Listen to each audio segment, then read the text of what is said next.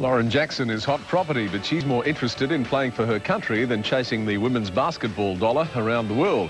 The 18-year-old has knocked back lucrative offers to play overseas because she has her eyes firmly fixed on the Olympic Games. Lauren Jackson is often taking centre stage, but usually on a court, not a catwalk.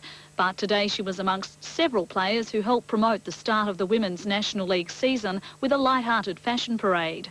Jackson was part of the AIS team which won the championship last season. Now she switched to the Canberra Capitals and is again focused on winning the title.